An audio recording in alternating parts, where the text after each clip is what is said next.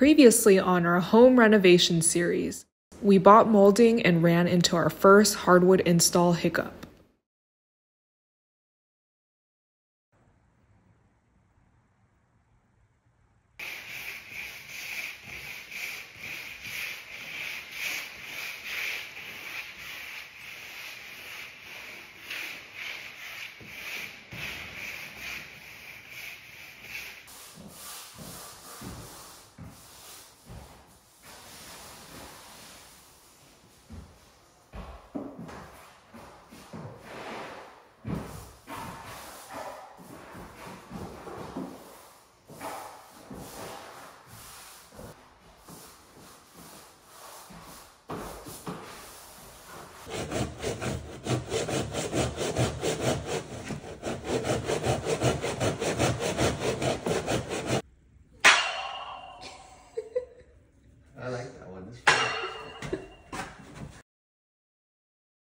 There comes a point in the home renovation process where you come down from that high that you had with getting a lot done, getting a, lot accomplished really quickly. And then you hit this like lull or you hit a low where things just like aren't making sense. All the research you did isn't showing up when you do it yourself. Like all those DIYers make the task look task at hand look a lot easier than it actually is. You're like, why are things not sitting flush? Why is there such a big gap? Why are the corners not butting up? And you kind of just hope that somewhere down the line in the process of steps, there'll be like a saving grace, whether it's like using some caulking or giving it another coat of paint. And the whole time you're just thinking like, oh man, this whole project is going to crap. And then you, you hit the next step, you pivot or you transition to a different task where things are going successfully.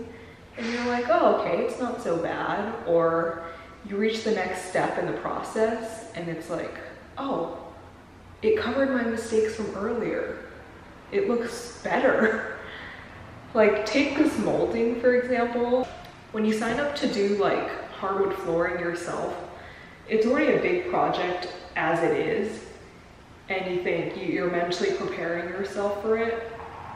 But what you're not mentally preparing yourself for, at least what we didn't prepare ourselves for, is the floor molding and just how much stress comes with it. But take into account the actual work that comes in with molding, where having to get the corners butted up really nicely and getting your measurements perfectly right because it has to fit super snug. And the corner in and of itself is like a whole different beast of its own. You have to cut at two different angles, side, side, the same angle, and then the middle piece that connects it is also a different angle. It's coming together now, but it definitely the speed at which we were working slowed down a lot. At least how I function, it's a lot about wanting to see the final product.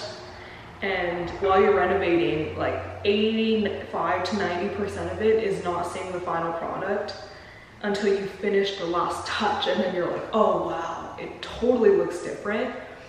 But I think it's definitely like trust the process fully. I, I fully believe in that statement during this home renovation. And I think I also have to remind myself that at the end of the day, these are small details that no one will really pay attention to beside us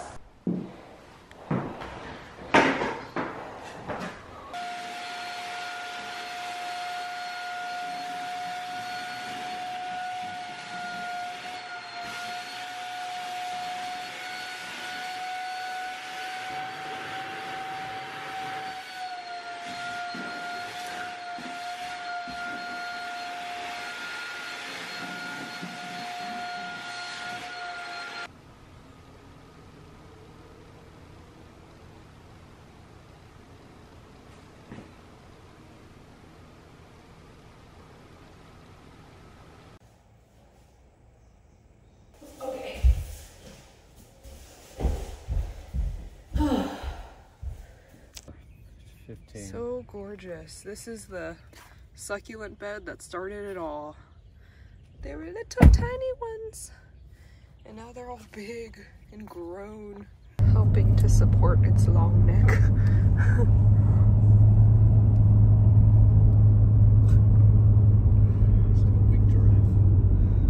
Today's artwork is a chicken.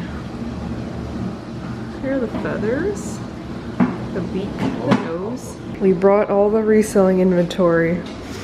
This is going to be our living room decor for now. It's quite a lot. Oh my gosh. Jeez, I didn't even realize I have, and this isn't even all of it. I still have to bring all the shoes.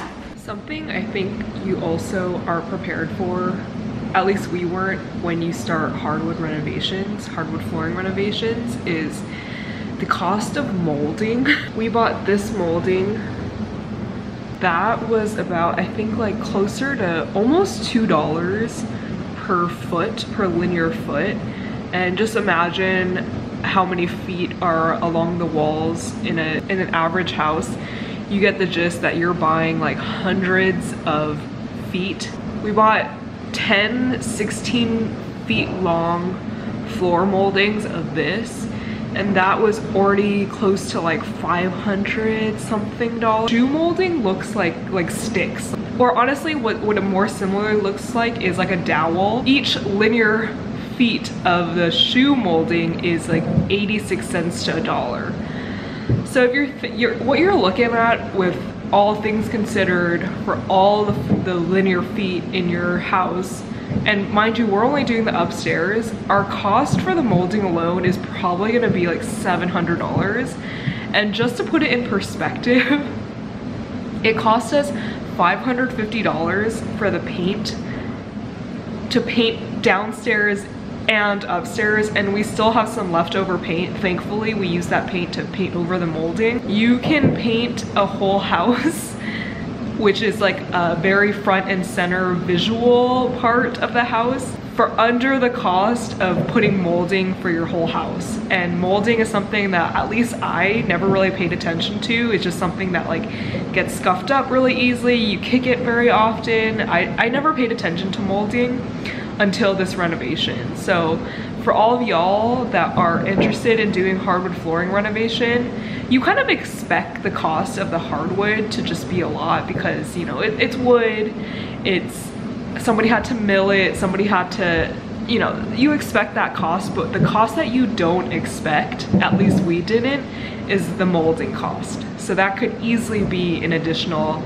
a thousand dollars if you were trying to do a whole house. I totally get why people are just out of money after renovations or after moving into a house, buying a house. And I also totally get on the flip side why you get charged so much to do these projects because there is a lot that goes into these things that the average person, if you're not tearing up your house, you don't see it. So you're like, you don't really understand why it costs this much. But when you're actually doing it and you're bending over back, like seriously, the labor part alone is like, I, I get why it's so expensive. A lot of respect to people that do a lot of labor intensive jobs. I, I really, really, really do respect it. This is a whole different issue that we need to address maybe later when we're finished with bigger renovations. This is the dishwasher fluid. Delightful. With each new day of construction, this hole gets bigger. What did it used to be like? This big? Like this. Yesterday it was like like like this. Yep. And then now what? Another six inches? Uh, yeah, like like five inches, six inches. When we when did we start the hardwood flooring? We started Saturday. So we spent a good half day trying to figure out the tools. Yeah, and then spent half a day um, putting hardwood. Mm -hmm. So that's like one day, and then we spent half a day Sunday putting in the hood vent, and then half a day putting flooring. So that's mm -hmm. one and a half days. Spent half a day on Monday after work, so that's two days total. Um, and then half a Tuesday, half a Wednesday, so it's three days. And then we were doing molding from Thursday, Friday, Saturday. And then today we did like two hours. So it's like three and a half days of actual hardwood flooring. And how much did we accomplish in the three and a half? We did the full master bedroom and then the closet, and then we did maybe like half. I'd say half. In the hallway? Half of the hallway. Mhm. Yeah, isn't it crazy that the molding took us equally as long as how long the hardwood taking us? Yeah, that's because the molding is really, really, really detailed, or like you have to really be super detailed. Trying to finish up the bucket of glue we have. We don't suggest getting that glue, by the way. Do not, do not use that glue. That was the only glue we could get pretty fast and accessibly. But the sales associate was telling David that it's been sitting on the shelf since November of last year. Oh no, he didn't tell me that. I looked at the label. The no, he told me that was the last glue bucket in the store. Makes you think why? Because it's been sitting since November. David was saying the reviews for that specific glue type. There's like a a layer of Like a skin. a skin. So every time you want to reuse it, even if it's just like 12 hours later or 16, 20 hours later, there's like a layer that's like half an inch thick every time that it's just wasted material. So it's pretty annoying because I feel like you end up throwing away like a third of the bucket. That glue is $250. So if you're throwing away a third of that, that's already $80 down the drain. Yep. Literally throwing it away.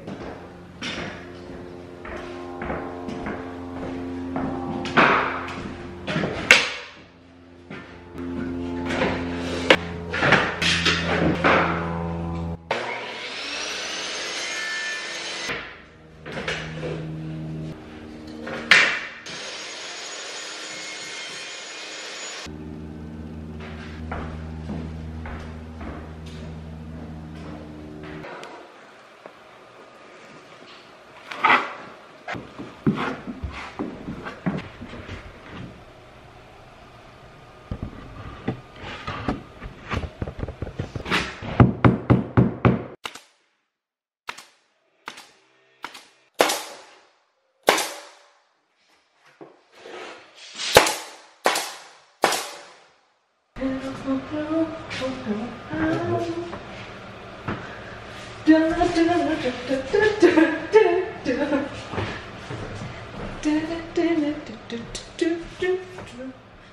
are my candy girl.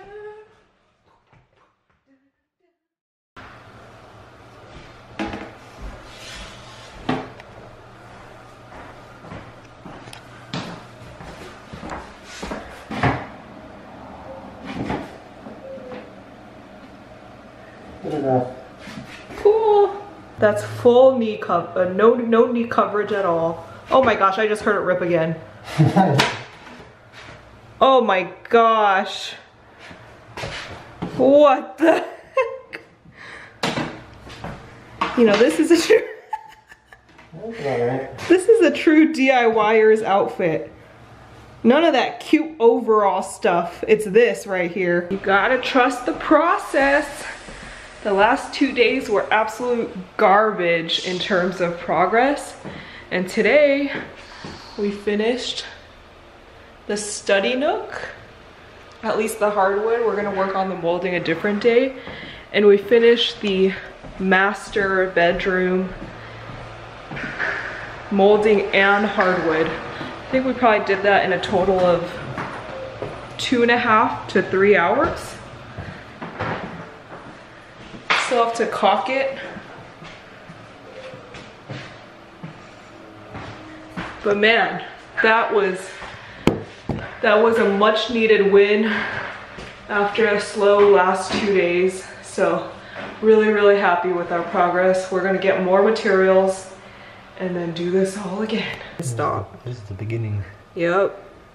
And then this is the master. Yep. This is the nook. yep. This is the hallway. Yep. Well, oh, I got it on my finger. And then Bottom was the master bed, master closet, and the rest of the study nook. yeah, Wow, that's pretty gross. it's not gonna be pretty.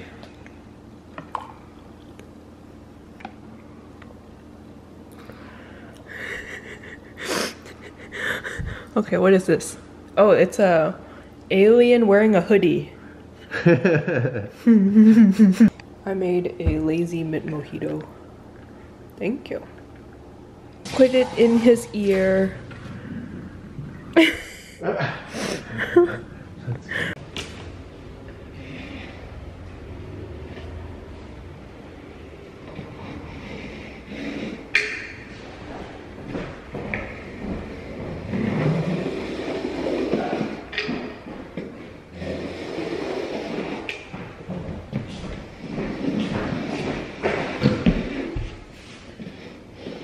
would you even describe this texture as?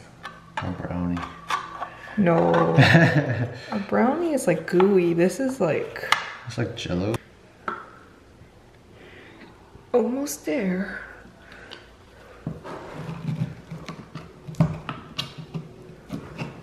Whoa.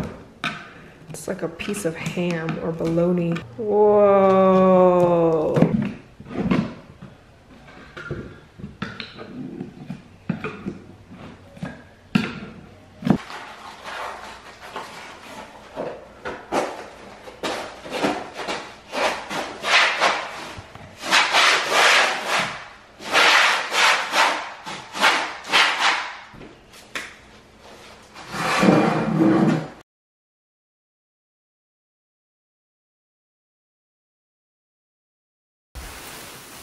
Wow.